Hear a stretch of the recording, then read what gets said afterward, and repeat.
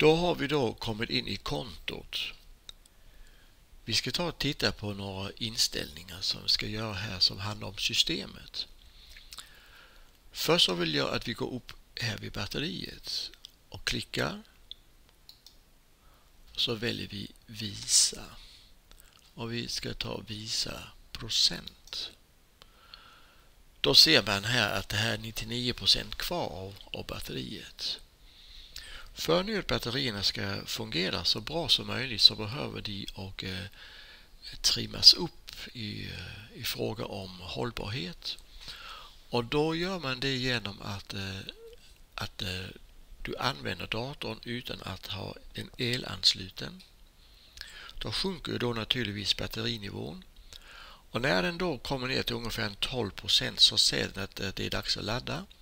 Gör inte det då utan låt den sjunka ner till eh, under 3% och sen bör ladda. Och låt den ladda helt full utan att avbryta. Gör det här i början inom de närmaste veckorna. Gör det ett par gånger att du laddar fullt, tömmer helt till runt 3% och fyller på. Laddar upp utan avbrott. På så vis så optimerar man batteriets kapacitet och då kommer det att hålla riktigt bra även i framtiden.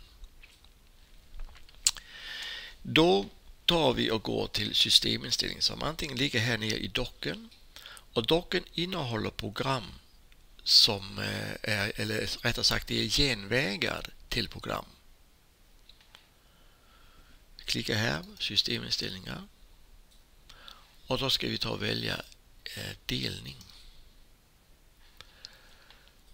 Här under datorns namn så är det viktigt att den har ett unikt namn så inte det blir en konflikt när du ska ut på internet med två datorer som har samma namn.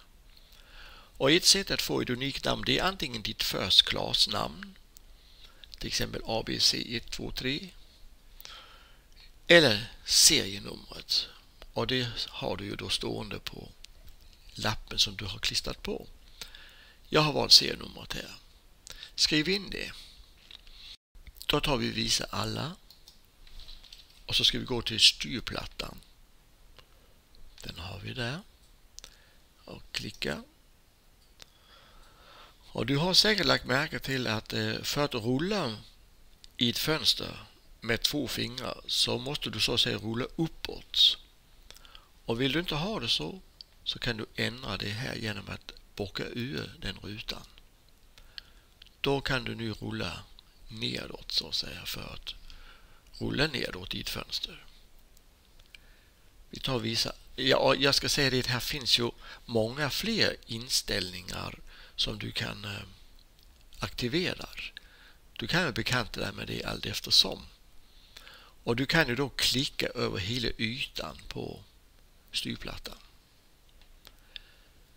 Ta och visa alla.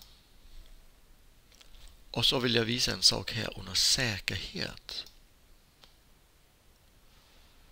Hos dig så tror jag att det redan är ibockat och det innebär att när datorn går i vila eller du stänger locket, när du då sedan öppnar så krävs det lösen för att komma in i kontot.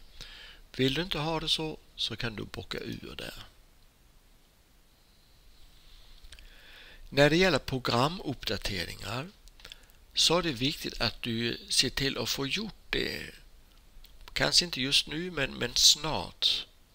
Och då kan du antingen gå in här under, under systeminställningar och programuppdateringar där.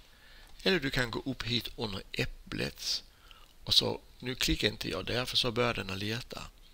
Men gör det regelbundet. Och i synnerhet här i, i början.